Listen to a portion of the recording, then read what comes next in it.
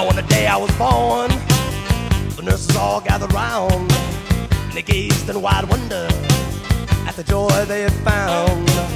The head nurse spoke up, said, Leave this one alone. She could tell right away that I was bad to the